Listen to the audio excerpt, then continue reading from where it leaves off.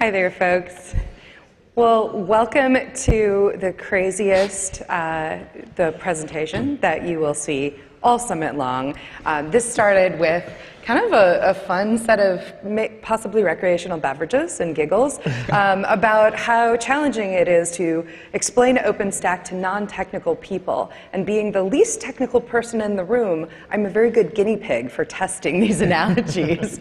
so um, first of all, we wanted to just introduce ourselves. I'm Heidi Joy Tretheway with the OpenStack Foundation, and as part of my day job of senior marketing manager, I run the user survey, I work with the product work group, and um, work on stuff like the, the marketing side of the Newton software release.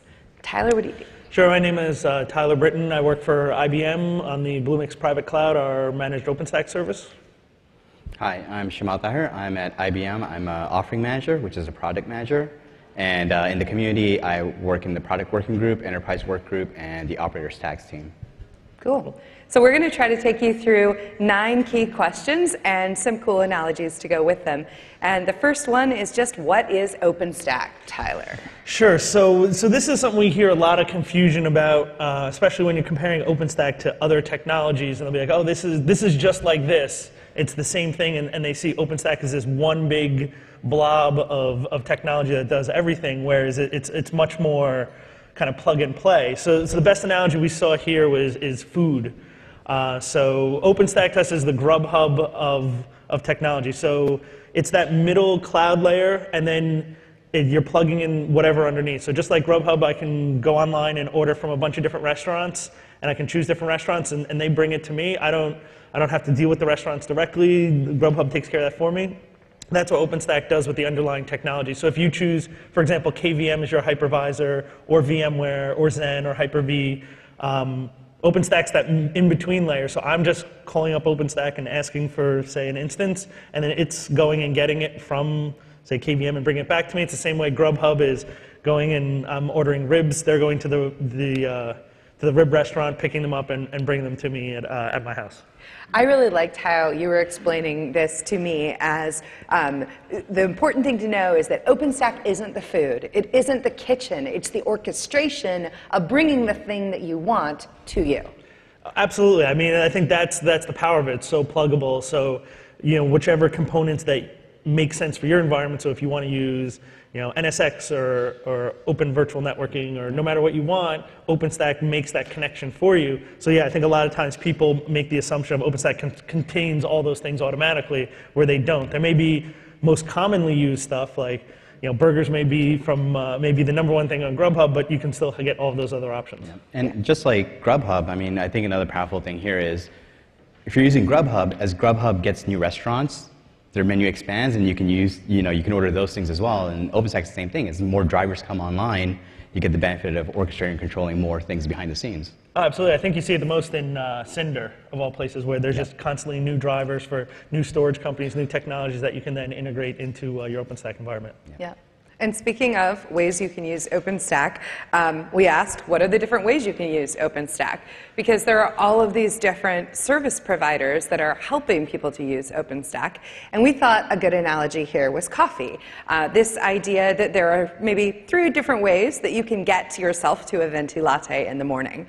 Um, for example, you can go straight into Starbucks and order the um, half caf extra hot, no foam, skinny venti caramel latte and get exactly what you want provided by this barista. And that's a bit like managed cloud. You give them all of your specifications, and presto, you are receiving this thing tailored exactly to your needs. Uh, if, you, if you look at distributions or distros, as we call them, that's a little bit more like having your own Keurig. You have certain packaged options, and uh, it's, it's something that you can really manage on your own, and, uh, but at the same time, you have uh, a limited set of choices, and yet those, set, those sets of choices are nicely packaged for you, nicely tested for you, um, makes it a lot easier for you to deploy. Or you can freeform it, do the DIY version, download the code yourself, do all the packaging and all of the testing by yourself. Or in the case of coffee, roast your own beans, grind your own beans, uh, you know, go milk your own cows if you like for your latte, and serve up your perfectly French pressed roast. Yeah, I, I love this analogy because it, it covers the, the trade-offs as, as you move across the spectrum, right? From this side is the easiest, but also the most restrictive, to the most free-form, but the most difficult. So then it's finding what makes the most sense for, for your, t- your particular tastes. Yep. All right. Well, Shamail, let's talk a little bit about the big tent because that's definitely something that people Yeah, have a lot so of questions about. That comes about. up pretty often, actually. And Yeah. so the best way we thought about how to describe the big tent was we started thinking about tents, and that actually led us to think about, you know, a farmer's market, for example.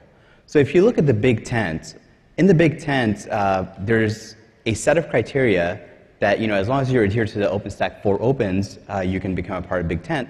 Much like a farmer's market, you know, anyone can uh, pay the fee, and set up a booth and a table, and as long as there's you know meeting certain guidelines about where they can put signage, how much signage can they put, how much real estate they have, they're good, and you can and you can sell your your goods at the market. Um, likewise, uh, there's also a notion of you know when you go to a farmer's market, generally over time there might be booths or stalls that are more popular than others. And over time, the farm markets become known because of those things, whether it's bee, you know, honey or whether it's a certain produce uh, stall. But because of that, over time, they attract, they become the attraction to the farmers market in a sense. And because of that, uh, the farmers market in return will give them, you know, preferential placement. So when people walk in, they're right there. They might give them expanded real estate, so that way they can accommodate the huge crowd that they have. And that's how we look at like kind of like the core services as well, where uh, in the big tent, everything is officially an OpenStack project, but we still have a set of services that are more popular and widely adopted uh, based on the user survey that we consider the core services of OpenStack. And so that's how, over time, they're all welcome, but some of them do get better placement or uh, become more popular. As because they become more popular, they get better placement, or in our case, they become a core service, more or less. Uh, the interesting thing is also to draw a contrast to what the old process used to be like here. So before we had the big tent and where everything was an official project that met the four opens, we had uh, the integrated and uh, release cycle, which basically a project started and it would um, be an incubated project and it would then apply to become integrated. And there was actually a graduation checklist, like literally about 15, 20 things. Uh, is there are there people using it? Uh, is you know is the team diverse? Do you have multiple con- companies contributing to it? And you know, in this analogy, that would be like your supermarket, where basically you have to work with the buyer. Once you work with the buyer, you negotiate which you know which shelf you get in product placement. And by the way, as you're more popular and you sell more, or you negotiate better rates because of volume, you get better placement to where you're in the middle versus the bottom or the top of the aisle, of the shelf itself. Those are great market systems for analogies.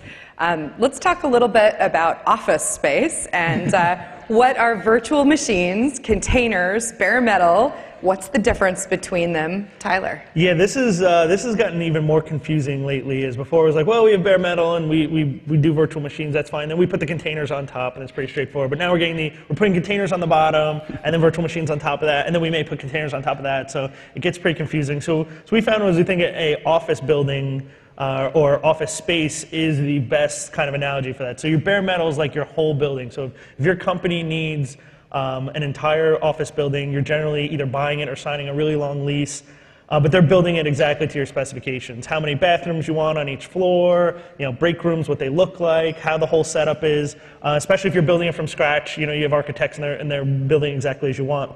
So you're generally making a pretty big commitment, but you have the entire control of that space. Um, and that is you know, as close as you can get to just getting a bare metal server, whether you're using Ironic or, or, or what have you. Then the virtual machine we think is more like an office suite. So you still have control over your space. It's a smaller space. Generally, the commitment isn't as long either because you're, you're taking a space out of a building and you're sharing that, that, you know, that there's other suites in that building of other companies.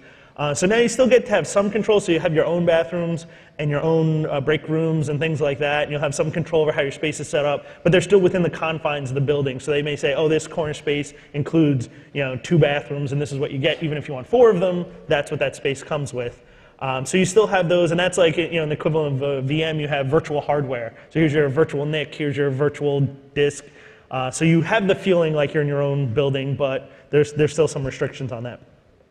And then um, the container, the best is, is the rent and office space. So the Reguses and stuff of the world where you can get an office for as, as short as you know a day or hours, where you, the, the core services, if you will, are, are pre-built. So you have the, the bathrooms are where they are, the break rooms are where they are, all that stuff is set up that way, and you just get your individual office space. Uh, so just like a container, if they're running on Linux, you can, you know, you can, your container could be Alpine Linux, even though you're running on Ubuntu and things like that, but you don't get to change the underlying uh, pieces. You're just sharing the CPU and RAM and things like that, whereas the underlying disk and network, and that's just controlled by the, the VM or or, uh, or bare metal server that you're running on. So it's, it's kind of that, that same continuum of as you get kind of the more granular, and it's also in general a shorter lifespan. So usually you're buying a, ser- a physical server, you're keeping it for three or four years a virtual machine generally some point, period less than that, and then containers could be you know minutes or hours. Yeah, and they're more configurable, or the uh, bare metal or the virtual machine being more configurable as well as having the longer lifespan. And it's it's also about like you know this analogy works in multiple ways where there's also the sharing of resources, right? Where oh, yeah. you, you have your receptionist, uh, for example, in a Regus type model in the container model, you have you're sharing resources, so you're kind of using the kernel and building on top of it. Yeah. Um, with a virtual machine, everyone has their own office and everyone has their own receptionist still. Yeah. There's Yeah. still yeah, there's still some Get it. some contention for resources there, but yeah, container really sharing all of them at that level, and then bare metal. It's it's as long as you can fit it in your building, you're, uh, you're good. Exactly. Yeah, love it. Uh, Shamail, do you talk about op- interoperability, please? Yeah, absolutely. So interoperability, and specifically what I want to talk about is, you know, explaining interoperability in the OpenStack way of what we do with interoperability. And so the best way to think of interoperability in OpenStack is to think about, uh, you know, plug standards or pow- power outlet standards, effectively. Um, so in this case, the OpenStack API is really much like a, uh, a, a plug. And so you have standards defined here.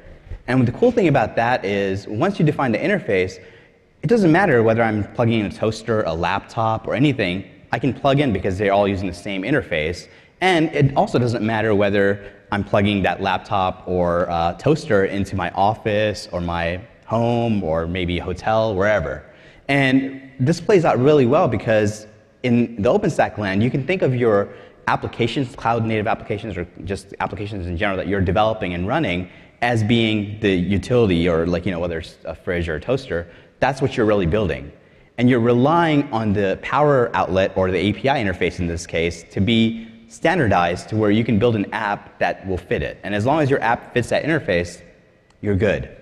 And then likewise, that the house or the office could be considered different OpenStack clouds in this case. So I can develop an application, I can use a standard defined interface that's been tested for interoperability in these different things, like a you know, inspector will come in and make sure that you're adhering to standards that are set. And once that's done, you can use your application or your appliance in any place that, that uses that standard. Yeah, I mean, you could even extend it even further if you s- like. You can get a power inverter in your car and plug your blender in. You know, your Margaritaville blender. Oh, okay. my. okay. in the you know a tailgating or something like that. Well, it's just th- th- we've seen that code other places where hey, there's not really OpenStack behind it, but people have even built these kind of API converters, and it's just that's the key thing from the applications perspective. As long as the plug looks like a normal plug when they go when you go to plug it in and it and it works the way it provides the power and follows the spec, then uh, you're good to go. I- implementation is less important. Like the cord size doesn't matter at that Yeah. point. Yeah. What matters is the plug at the end of the day. So. Yeah, awesome. Well, um, one of my biggest problems is where to park my Porsche. Pause for laughter. Um, no, uh, uh, the way that I'm learning about the difference between block storage and ob- stor- object storage is if I were to actually have this problem of where to park my Porsche. And uh, the, the options that I have are on a block storage basis, I could rent a storage unit. And then that becomes mine, all mine. I can put my Porsche in there. If I decide to get a Winnebago instead, I need to go get a bigger storage unit. Um, I can also take my Porsche out and then um, I still have this block storage space, this, this rented storage unit um, that I'm going to have to pay for whether I store anything in, in it or not. Now, the other way to do it is with object storage. It's effectively like handing the keys of my uh, imagined Porsche to a valet. Uh, he gives me a ticket, and then I'm off on my merry way. When I want my Porsche back, I say, Here is my ticket. This is kind of the code for where you have stored, stored my object. And um, he brings it back to me. Now, we are talking about how this analogy works and also kind of where it breaks down.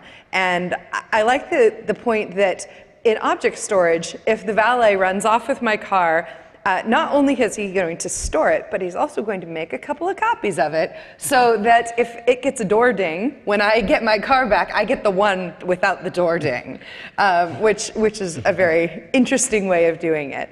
So, um, what, what would you add to this? Yeah, I think, I mean, I, I'd be interested to see if the ability to quickly 3D print cars, the, the first use case was backup cars at, of high-end cars at valets. yeah. yeah.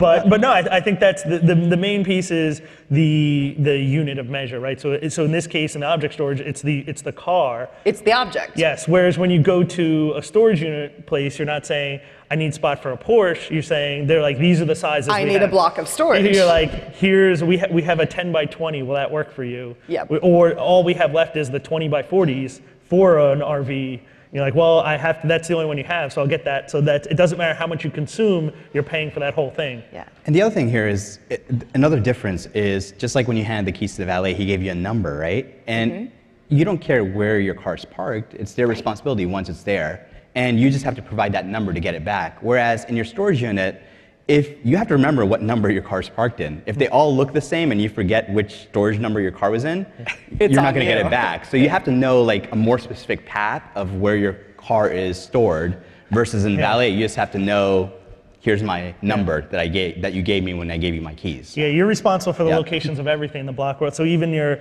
your Porsche has snow tires and they're buried in the back of you better know where they are in your storage unit or you need you know, to know what's in your storage unit. Yep. Please put a Porsche in my storage unit. I would appreciate that. Well, let's talk about how networking works in the cloud.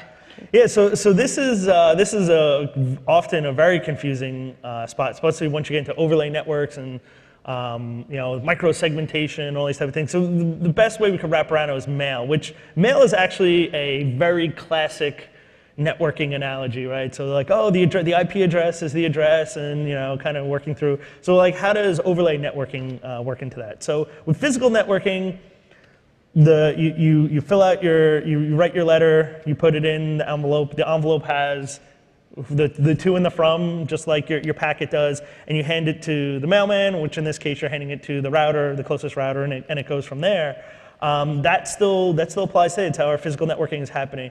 Uh, software-defined networking is where you bring into more of like the um, interoffice mail kind of on top. So if you've ever worked in a big enough office um, where you have an interoffice mail set up, uh, I think it's less common now with yeah. email and all that good stuff. yeah. um, but you'd have these fancy manila envelopes where you just put someone's name on it. So I'd Heidi Joy, yes. and I'd put the stuff in it, and I'd hand it to my internal mail person, who would then take it from there. Um, now, Heidi Joy actually worked in a different office. She's on the West Coast, I'm on the East Coast. So they would take that interoffice envelope, any other ones that were going to her office, and put it all in a, a big external envelope with the address of the office and send it there. The mail person there would open that envelope, take out, and say, oh, okay, this goes to Heidi Joy. There's these other mail pieces in here, and they go there. So I don't actually know what's happening with that underlying network. In that case, like I don't know it went to the post office, or I don't know it went on these internet routers, or, or how it got to her. I just know our internal mail system works by writing names on this envelope and passing it along. And that's kind of where that the overlay networks come in. So overlay networks don't know about the underlying networks. You, you as a consumer just know about that top level network. So you know your private network of you know 10.10.0.0. Um, you put an IP address in there and it goes to it. You don't realize under the covers it's actually being encapsulated and sent maybe across multiple networks to get to the other side. So it's it's that that abstraction, you just don't even know about the underlying physical network. But at the same time, networking hasn't changed. You still have to write the address on the envelope to get it there, and that's where physical networking is still happening underneath. So no matter how you send that, that inner office mail, it still at some point is going in a physical envelope and, and heading on its way over. Yeah. Exactly. So the, at the end of the day, the process is still the same, but you're being abstracted from it to where you don't have to you don't have to deal with it, right? You're just kind of saying Yeah. it's going to Heidi Joy. Yeah. And So, then yeah, the two so- systems kind of. So the, help the, the mailman, the actual U.S. mail person is the is the physical router. Yep. My internal uh, mail person is my virtual router that I've created, my virtual networking. So all I know is I give it to them, and then they're smart enough and know how it works to hand it off to the, the appropriate physical router, which is the, the actual mailman. Just make sure that my fictitious Porsche gets in that mail, and I'm good. Keys, the keys and the title to your fictitious Porsche. Nice. Well, we had an idea for um, how why for-profit companies have an interest in supporting OpenStack. We had this idea to talk about Rail, and once we did a bit more research, we stumbled on a phenomenal um, comparison. Uh, so in Australia, about 150 years ago, as they were building rail lines, they really only needed to build rail lines from wherever stuff was coming from or going to the ocean. And it wasn't until they started networking, literally networking their different rail lines together, that they realized they had created a very, very big problem, which is they had three different sizes of rail line. They had the wide gauge, the regular gauge, and the narrow gauge. And so what ended up happening was um, by 1939, um, at, toward the beginning of, uh, of a war, uh, the three gauges were causing so much problem that they needed 1,600 people to move 1.8 tons of freight across from one boxcar to the next so that the, the the contents could continue on their merry way to get to where they were going. So it would literally be like if you were shipping from one state in Australia to, to me, um, you would put it in a boxcar, send it to the end of your line, then some people would pick it up, move it into Tyler's boxcar. He would transport it over here, they would pick it up out of my boxcar, move it in uh, and then it would be transported to me. So um, they have been they, working for 94 years to solve this in Australia, and it looks like they're, they've finally solved the, the rail gauge issue. But um, we think that OpenStack is a lot like making a rail network system, that the underlying infrastructure, which is the standards and the infrastructure itself, make everybody's uh, uh, help benefit everybody.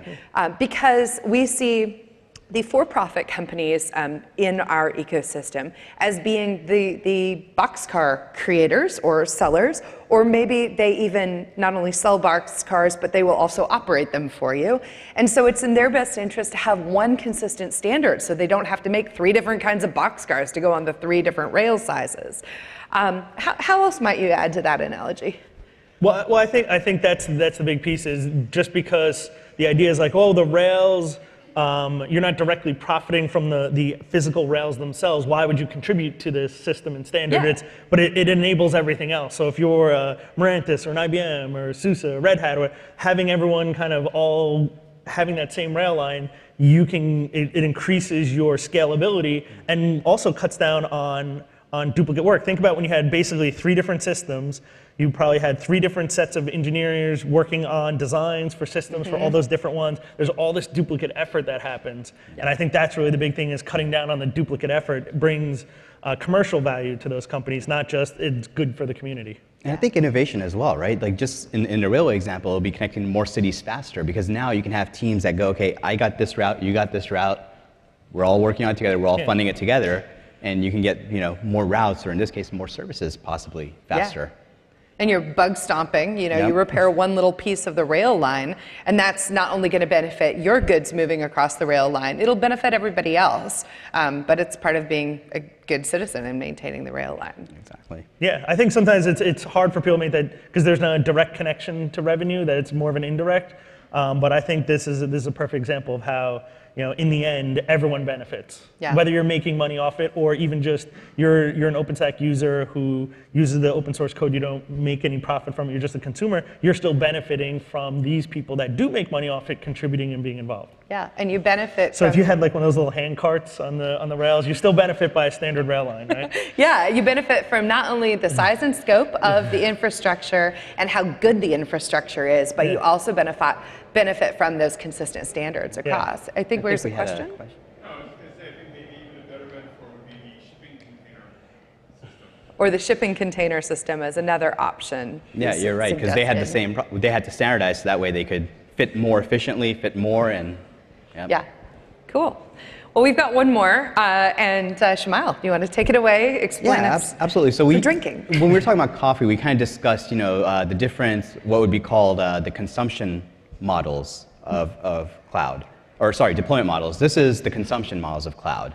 Mm-hmm. And so in this case, what we thought about was, okay, coffee was good. Now let's switch over to something more interesting. It's late in the day. Yeah. um, so basically, you have you know different deployment options here, or consumption options. You can have a public cloud, a private cloud, or even a community cloud. And really, the difference here becomes uh, much like bars. You can, when you want to drink, you can go to a public bar, and you can pay for that one drink that you want, and you know they'll bill you for it, and you're off and gone. Um, but every time you want that drink, you're coming to the bar, you're buying that one drink. And so, you know, at the end of the day, you're like, you know what, maybe I want to have my own bar or have a party that I want to host. And that's where the private cloud or home bar comes into play, mm-hmm. where you do a little bit more investment up front. Now you're not paying for one drink anymore. Yeah. You're paying for, you know, building the bar, stocking the bar, and everything. But now it's yours to use whenever and with however many friends that you have that, that are invited. So you can have your own parties, you can have your own choice of what drinks you want in the bar and everything. And uh, so, so that's like, you know, the private cloud model, but again, you're investing a little bit more upfront. And then you've got an in-between model here called community cloud, or in this case, a club. So in, in some parts, uh, they still have a concept of uh, social clubs where you have to become a member, and then once you're a member, you get access to the bar and you can order drinks and everything. And so community cloud is similar to that, where you're taking the concept of the home bar, but saying, you know what, I, I, I really want this, but I don't want to go it alone in terms of investment and everything. So you chip in with a few of your pals in, in, the neighborhood, and you all put together this community cl- cloud or a club in this case. And there you're still, you know, stocking the drinks, but now you're, you're sharing the burden mm-hmm. of the investment, but you're all benefiting from the investment as well. Yeah, I think I think the key about that is there's usually some common theme. So a social club that you're generally sharing some sort. You know, if it's the VFW, it's veterans. If it, you know, there's some overlying interest that you share. And I think community cloud's the same way, where it's research organizations or healthcare. So they have they have some. Uh, education they have some overlying interest that they share that makes sense for them to share a cloud Exactly. And that sense. generally, it's also a difference of, you know, if you have a, if you have a public bar, for example, they'll generally stock, you know, they'll, they'll have sufficient stock. Yeah. Yeah. So chances are very rare that you're going to go there and order your drink and they'll say, sorry, we don't have it. In the private cloud, you know, you, you can have a lot of resources, but you got to buy those resources up front. So there is a situation where if you didn't plan accordingly, someone could Yeah. want that next beer and you're like, sorry, that one's gone. Yeah, so the- a the little other- more planning. Yeah, the other challenge on the public side is you, because you're buying per drink, you're definitely paying a lot more than when you're stocking your bar when you work out the drink. So, you know, going to the hotel bar and getting 20, 20 euro drinks. Yikes. Uh, you know, once you start drinking a lot of them, that gets pretty expensive. 1097, but I- but on the other hand, you, if you if you really just want the one drink, you Yeah. don't need to go to the time and expense of an entire Yeah. private bar setup. Yeah. Yeah, you don't need to blow 10 grand to set your basement up as a bar when you want, you know, a drink a week. Although I can think of some people who would justify it. Yeah. well, and I think even private can can kind of break that into two modes too. So home bar, we're talking about kind of local, on-premises private cloud. There's a concept of dedicated or a hosted private cloud, and I think that's where it comes into where you can rent a room.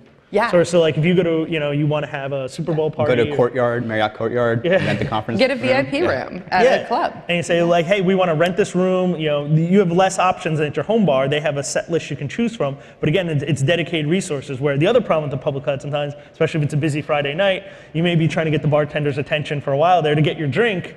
Whereas in it, you're getting that, hey, this is just our group of friends, and we, we have a private room for our event. Um, but we don't want to blow 10 grand and, and set up a bar in someone's basement. So we, we want a, a dedicated. Some people would call that a wise investment, Yeah, though, oh, Tyler. yeah, Yeah, I yeah. think so. Great. Well, we have a question in the back. What kind of bar is uh, hybrid cloud? What kind of bar is a hybrid cloud? that's a good one.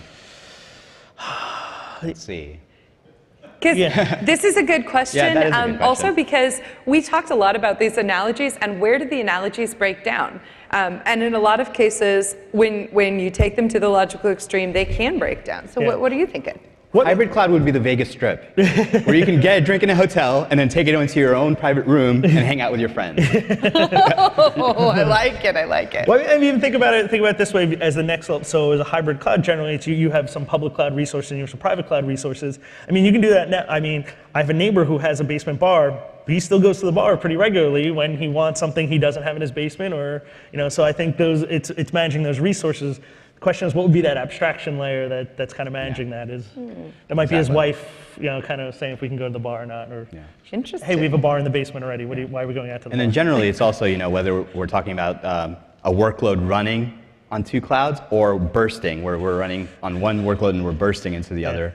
So So, well, maybe that's it. So you have your your your private room that you've rented, but way more people show up. You- than you ran out of drinks, and you yeah. said, "Hey, we're gonna have to go to the bar out there because we're all full up in here." Or we have our private party at home, and then we're doing a 50th birthday bash for someone, so we decide to go elsewhere for that. Okay, we have time for a couple more questions. Ooh, we are good. High fives all around. Well, there are uh, nine analogies that we hope that you will test and uh, also find the logical uh, kind of points where they break down. Um, any final thoughts on, on kind of this process for us? I had a blast doing it, and it was really interesting because we started with analogies, and you know, you'd pick the first thing that came to mind, and then you'd start testing it, and it would break down, and you'd go somewhere else. But really, it, it ended up being like a lot of these analogies that we did choose, we chose because they were so deep in terms of there were multiple dimensions that they could address, and so that was a really fun process overall. Oh yeah, absolutely. I think uh, those were the interesting ones where you're like, "It's like this, yes," and then, well, what, well, what would what would this be? And then you're like, "Oh no, that doesn't that doesn't Or- work at all." What, what happens to my cars in the valet parking scenario Yeah. if, if the valet gives back my one car that has no door ding? Uh, well, what does he do with these other cars that he printed on his 3D printer? Well, he, he crushes them and then uses those resources to build the next one. Depending on if the object storage has the security codes in place that require him to crush them. But Yeah. maybe if he's a bad guy, he turns around and sells them elsewhere. Who knows? Data leakage. Do I see one other question over here? Okay, well, thank you very much for joining us today. Thank you. Thanks.